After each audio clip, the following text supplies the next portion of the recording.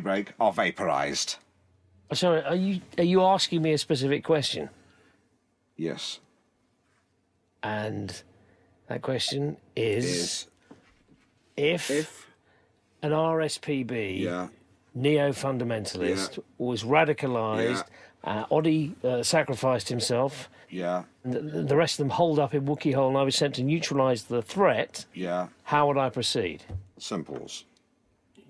Really want to know? Yeah yeah. Let's hear it. Hand-to-hand combat, com- commando style. Do you mind if I stand up? No, please. Take the floor. Take the floor. The floor is yours. You have the floor.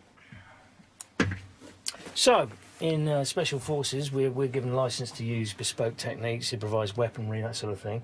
Uh, my favourite for hand-to-hand combat is this brass knuckle, which I've adapted. I've stuck a protruding blade on one side, very sharp. What I would do is, I'd uh, when I attack the first insurgent, punch him full in the face as hard as I could until I felt splinter of bone. That his nose was truly shattered, and then as he's toppling backwards, grab hold of him with your right hand and bring my hand back with the blade like an arc across his throat, severing one or preferably both of the carotid arteries. It's, you've got to be careful here because you've got to avoid the squirt of the jet of blood because you know you don't want to be blinded moving on to the next fella.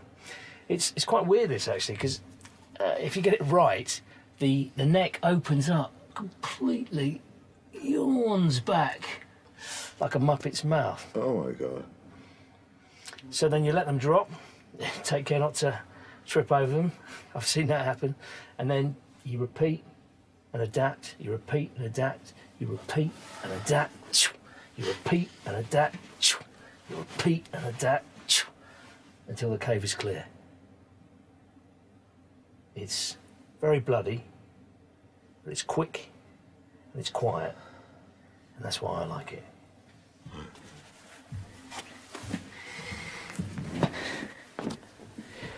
Any questions? No. Yeah, um. Uh, which Muppet? You rejoin us on Mid Morning Matters. Tommy Gaskell, survival expert, still with us. And on line two, we have Sophie. Sophie, what's your tongue twister? Did that man hurt the Muppet? No, love, he didn't hurt any Muppets. He simply dispatched um, some uh, terrorists from a radicalised RSPB in, in Wookey Hole. Uh, it was simply that when he slit the throats of the bad people, they resembled the mouths of Muppets. Hope that answers. They get better. Did they get better? We cleared the cave. No, no, no one survived, Sophie. He cleared the cave. And when the man hurt the other men, did the man feel bad? Did you feel bad? It's my job. No, he didn't feel bad, Sophie. Did the man get into trouble? No, because it this no, because the government allows him to kill people. Sometimes, when the government's exhausted diplomatic means, they allow state-sanctioned killing.